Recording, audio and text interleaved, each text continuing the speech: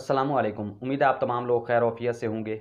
जैसा कि आप जानते हैं कि गवर्नमेंट टीचिंग अस्पताल शदरा लाहौर में बीएस नर्सिंग चार साल प्रोग्राम, जिसमें मंथली इकतीस हज़ार चार सौ सत्तर पे स्टाइपन भी दिया जाता है।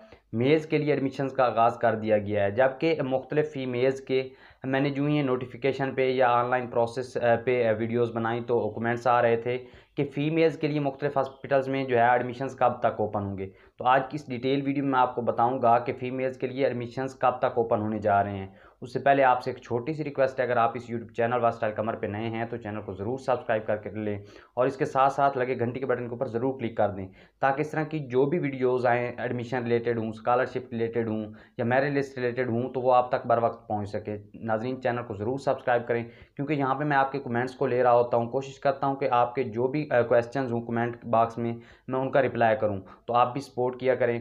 अच्छा यहाँ पर मैं आपको बताता चलूँ कि जैसा कि मुख्तलिफ़ फ़ीमेल्स पूछ रही थी, अब अगर हम देखते हैं, गवर्नमेंट टीचिंग अस्पताल शदरा लाहौर में, जो एडमिशन्स ओपन हुए, चंद दिन पहले, तकरीबन आठ दस दिन पहले एक मीटिंग हुई, जिसमें एडमिशन्स के बारे में डिस्कस किया गया और आठ दिन बाद ही नोटिफिकेशन जो है वो जारी कर दिया गया और मंडे से जो है वो ऑनलाइन अप्लाई भी स्टार्ट हो गई।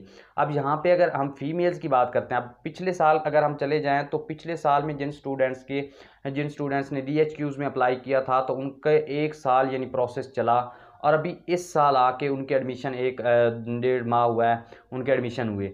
तो मुख्तलिफ़ स्टूडेंट्स अगर, क्योंकि मुख्तलिफ़ हॉस्पिटल्स की कैपेसिटी होती है तो उसकी बेस पर एडमिशन लिए जाते हैं। तो उन हॉस्पिटल्स की कैपेसिटी का जो है, वो मसला आ रहा था। और अगर हम देखते हैं फ़ीमेल्स के बारे में तो फ़ीमेल्स के बारे में मुख्तलिफ़ एडमिशन्स के लिए कोई भी अभी तक मीटिंग नहीं हुई।